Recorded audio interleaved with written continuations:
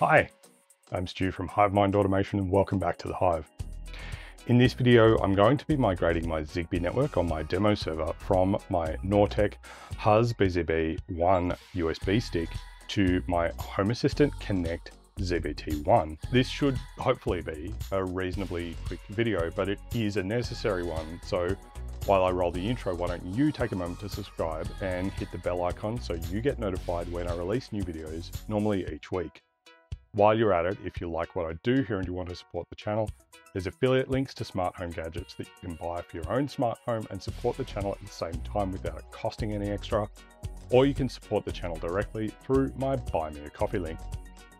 Of course, those affiliate links and my Buy Me a Coffee link can all be found on my website, hivemindautomation.com.au. With all of that out of the way, let's get started.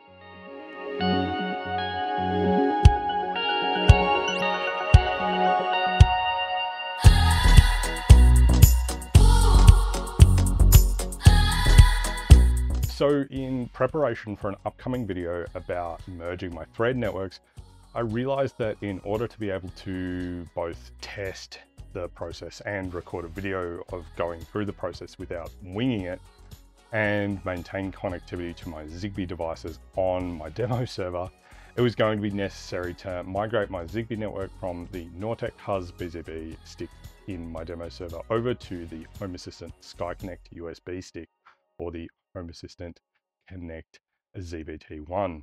Now it's not technically required because I could actually run the Nortek stick as my ZigBee controller and then just run the Home Assistant ZBT1 purely as a thread border router. But we're going to migrate my ZigBee network over to the SkyConnect ZBT1 uh, and show you how that process works. Now, as I said at the top, this should hopefully be relatively quick and it's not just useful for when you're migrating to a SkyConnect and you want the multi-protocol, but it could also be useful if your existing ZigBee bridge fails for whatever reason. Now, before we kick off, it's important that we take a backup of our ZigBee config.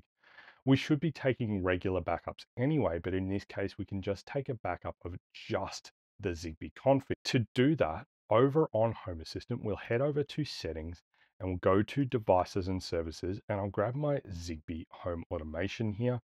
And if I click on Configure, I can click on Download Backup. And this is going to take a few seconds and it is going to then uh, download a file. And if I pop over here, we can see in my download, I have a JSON file of my ZHA config there. So I've taken that backup now and uh, it's good to have that just in case something goes wrong. Also, we're obviously going to need to have another ZigBee stick that we can migrate the radio to. And as I mentioned, we have the Home Assistant Connect ZBT1 plugged in to the server. I've already set that up and I've already confirmed that uh, Home Assistant can see that server is connected. Now, I will warn you that when we go through the migration process here, there is a good chance that at least some of our ZigBee accessories might break and you might need to repair to correct any issues. But for the most part, the only issues that I encountered were to do with the naming of individual sensors, but it's worth bearing in mind that your mileage may vary. Now, in preparation for this video, I reset the ZigBee setup on my demo server and I paired one button and one smart switch to ZHA just so that I can validate that everything is still connected after the migration. Uh, and just to point that out, if I head back out here, go to ZHA and go to three devices, we'll go to test button and I'll just press that a couple of times and you can see that that is firing it's not being super responsive, and part of that is because we're at the opposite end of the house from where the server is. Uh, but if I back out here and open up test plug, we should be able to turn the switch on here, and that has worked, and off and on. And I've just turned that off, and it took a moment, and it has gotten there now. And uh, it's going a little bit crazy at the moment, and the cat is in the way. Whiskey, get out of the shot. So again, because of the distance from the Zigbee bridge, uh, I had a couple of uh, connection failures there. That's okay. I can live with that. Um, it's purely just uh, to illustrate that we should still have connectivity after we do this migration. So we should now be able to head back over to our settings, go to devices and services and Zigbee home automation again, and click on configure. So at the moment you see hub Z smart home controller Zigbee COM port. If I hit configure, we should be able to click on migrate radio. ZHA will be stopped. Do you wish to continue? We'll submit that. And are you migrating to a new radio or reconfiguring the current radio? I'm going to migrate to a new radio. Before plugging in the new radio, your old radio needs to be reset. An automatic backup will be performed, so we didn't need to manually take that backup, but it's probably worth it anyway. If you're using a combined Z-Wave and Zigbee adapter, like the Husby ZB1, this will only reset the Zigbee portion, and if you're migrating from ConBee or Raspberry to make sure that it's running firmware, uh, a minimum version of firmware uh, or higher, uh, and otherwise some devices may not be controllable after migrating until they're power cycled. Do you wish to continue? I'll click submit and it says to unplug your old radio. It has been reset. If the hardware is no longer needed, you can now unplug it. I'll just leave that there. I'll click submit again.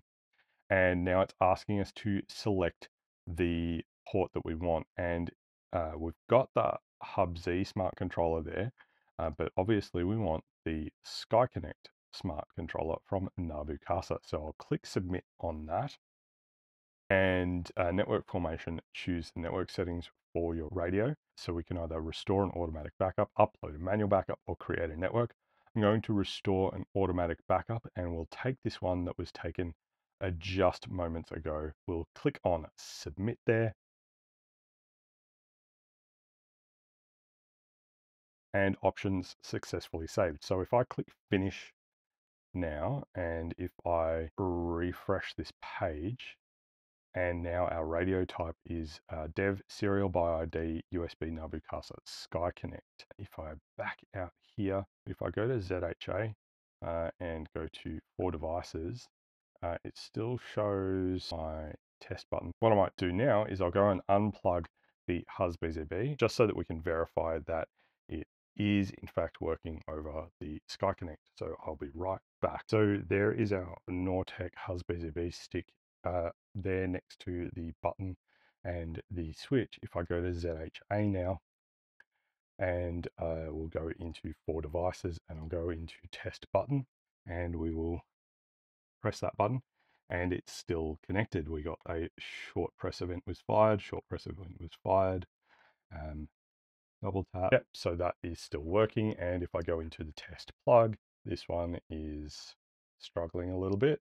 Okay, so it seems like the test plug is struggling to connect. What I'll do, I'll go plug it in a little closer to the server.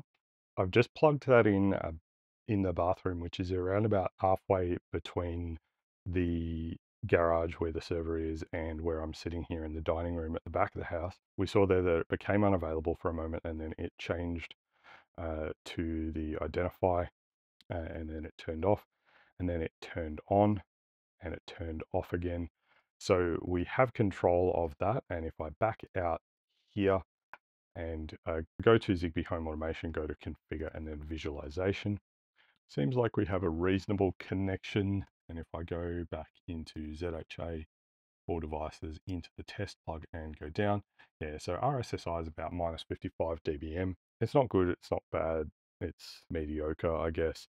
Um, the device temperature is clearly not quite right at 0.3 degrees. I'm, I'm, pretty sure it's warmer than that, uh, even in the bathroom where I've got it.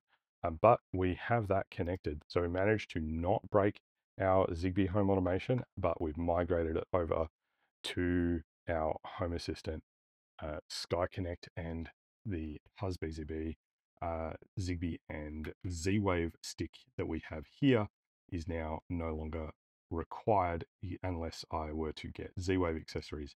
So with that, we've migrated our Zigbee network from the Nortek Husby ZB1 Zigbee USB stick over to our Home Assistant Connect ZBT1 in a future video, we're going to be enabling the thread radio in the Home Assistant Connect ZBT1, which should then allow us to connect some of our Matter over thread devices into Home Assistant as well, and possibly even some of our plain old thread devices, uh, if I can figure that out as well. And that should give us responsive local control of those devices and also add the ability for us to then use Home Assistant to automate some of those thread and matter over thread devices as well. So that is migrating from the Nortek HUSBZB-1 USB Zigbee controller uh, to the Home Assistant Connect ZBT1. As you saw, it was fairly straightforward and we managed to maintain our existing Zigbee network without breaking anything.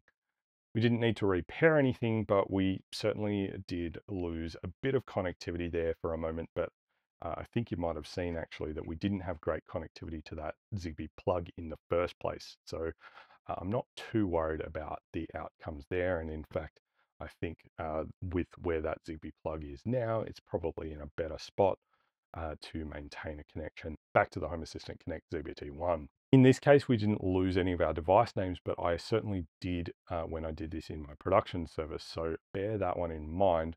It certainly wasn't ideal when that happened, uh, especially because I do have a lot of Zigbee entities, all my door and window sensors, etc., around the house, uh, and temperature sensors. Uh, they're all Zigbee devices, and uh, having lost all of those configs, I don't actually know which sensor is which, but I will be going through fixing those up. Once they're fixed up, it should all be fine. Now, as I say, I did complete this in my production environment already, and it did break some of my automations as well, but they mostly seem to come good after rebooting my Home Assistant server as well. So just keep an eye out and look out for that trap uh, because I did go through redefining some of the triggers for some of my automations without a whole lot of luck before trying to restart the Home Assistant. So if you are running into any trouble after doing a migration like this, start off with a reboot if do run into that issue. As always, let me know your thoughts about this video in the comments section below. That's all we have for this video and I do hope that it's helped in your smart home and home automation journey. Be sure to drop a comment below with a home automation idea you'd like to see me cover in a future video and don't forget to follow HiveMind Automation on Instagram and Facebook. If you like this video, hit the thumbs up button down below to give it a like and if you're not already subscribed, now's a great time to change that. And if you hit the bell icon, you'll get a notification when I release new videos, which is normally each week. Lastly, if you enjoy what I do here and you want to support the channel, there's a Buy Me a Coffee link in the video description. Any contribution you make through Buy Me a Coffee does get put towards making more and hopefully better content for you to enjoy. Don't forget to check out my website, hivemindautomation.com.au. Thanks so much for watching. I'm Stu from HiveMind Automation, and I'm looking forward to seeing you next time. Bye for now.